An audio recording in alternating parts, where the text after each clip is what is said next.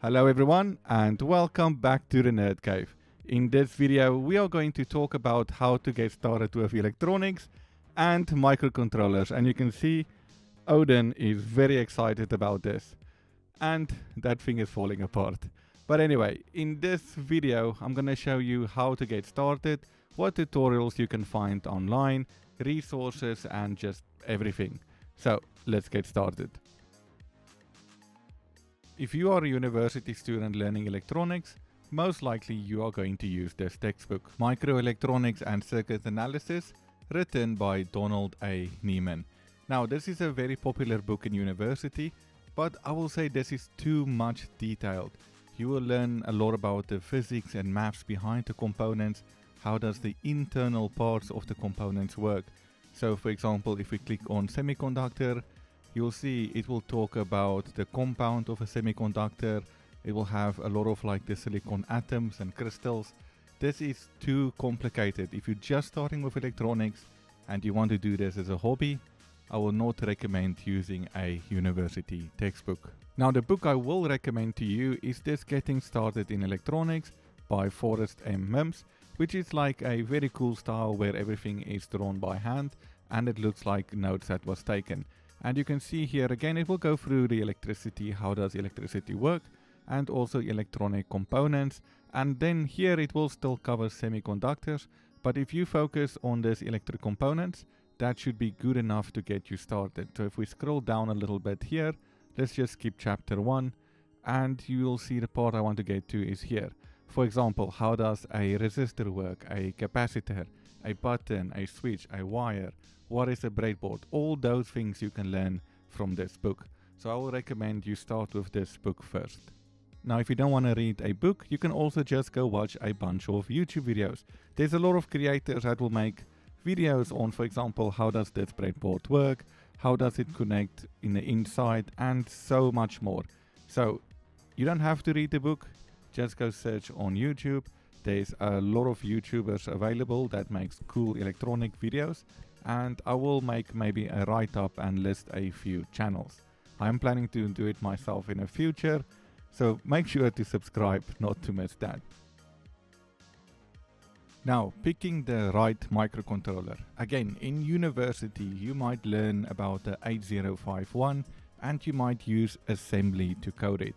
But if you're a hobbyist and you just want to build cool things and you're not going to be an embedded software engineer one day, then I will say there's two main things you can look at. The one is going to be the Raspberry Pi Pico or the other one is going to be Arduino development boards or all the other boards that is compatible with the Arduino environment including the Raspberry Pi Pico. The reasons why I recommend these boards is that the majority of DIY videos on YouTube is based around these ones because it has so many libraries and a big community that it will be easy for you to get started. Now if you want to get started with the Raspberry Pi Pico you can check on my channel I have done a getting started video and I have done a lot of tutorials. There's also a lot of other channels doing Arduino videos. The last thing I want to talk about is finding inspiration for your projects.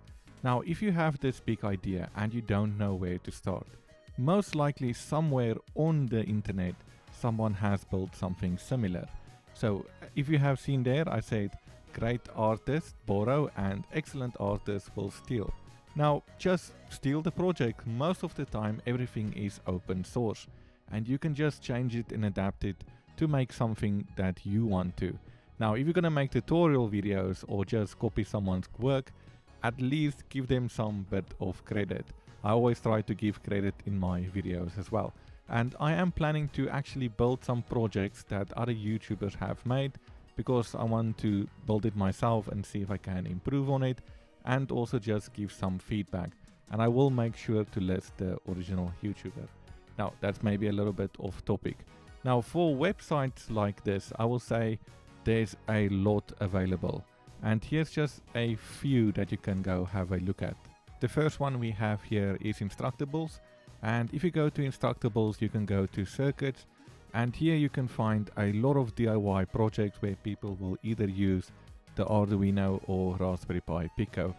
Now another one will be hackaday.io and this is maybe a bit more complicated projects, maybe a little bit more advanced than the ones you can find on Instructables, but still a very good place to go look at. And then here, if you go to the Raspberry Pi, the official Raspberry Pi magazine, the MagPi, they have issues that comes out every month for free. Now this will not have anything about the Arduino and it will mostly be on the Raspberry Pi computer or Raspberry Pi Pico. But there will be a lot of cool projects and some tutorials. And looking here this one has essential electronics as well. So again there's so many resources on how to get started with electronics and microcontrollers now the last thing you want to do is go buy an electronics kit you can buy all the components individually online but it will be better if you just buy a kit that will have a lot of sensors and the microcontroller that you want to use. Now, me personally, because I'm affiliated with this company, I would recommend this SunFounder Kepler kit, which has a lot of sensors and is based on a Raspberry Pi Pico. Now, they also do have Arduino kits, and there is other companies as well that you can use, like Elegoo and I think even Seeed Studio and Allegro there's a lot of companies that do sell these kits. In general, they all should be good. Um, I have not had any problems with these big companies when you buy electronics from them. So in short what I'm trying to say in this video is that if you start electronics in 2025 there are so many resources available. We have not even talked about ChatGPT and how it can help you also build projects with helping you with the code and so many things.